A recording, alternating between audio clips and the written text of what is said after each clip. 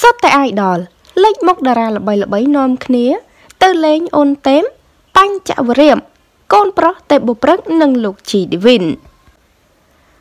គូរំលឹកបន្តិចផងដែរថាអ្នកគ្រប់គ្រងក៏ដូចជាពុកម៉ែបងប្អូនប្រជាពលរដ្ឋខ្មែរទាំងក្នុងនិងក្រៅប្រទេសជាច្រើនពិតជាស្គាល់តារាចម្រៀងដ៏ល្បីទេពបុព្រឹក ជាជាមិនខានដែលទទួលបានការគ្រប់គ្រងយ៉ាងខ្លាំង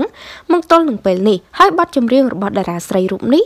ឲ្យតែចេញម្ដងម្ដងគឺផ្ទុះការគ្រប់គ្រងយ៉ាងខ្លាំងជាមួយ style ប្លែកៗមិនដែលឃើញពីមុនមកហើយក៏កំពុងសាងក្តីសុខនិងសុភមង្គលជាមួយនឹងលោកជីឌីវីតផងដែរ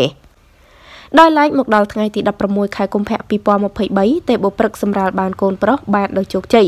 រំភើបពេកជីឌីវីតពោលពាក្យបែបនេះថា ស្វាគមន៍កូនប៉ាប៉ាមកកាន់ពិភពលោក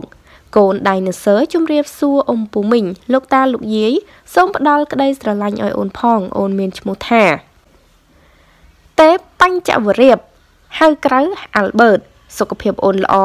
និងសង្ហាដោយប៉ាប៉ាអូន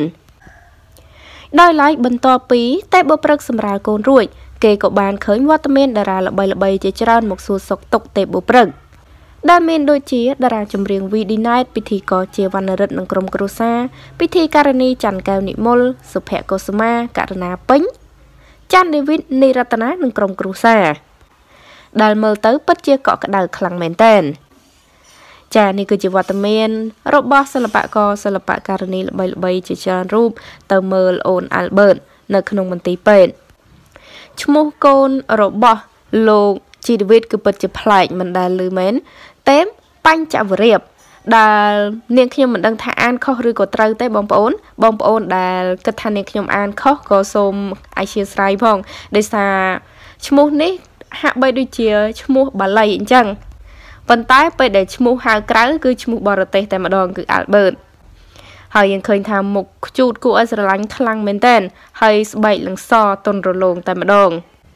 ចាអរគុណច្រើនប្រិយមិត្តទាំងអស់គ្នាតេតងនឹងព័ត៌មាននេះដែរក៏សូមបញ្ចប់តែត្រឹមនេះសូមអរគុណសូមគោរពលា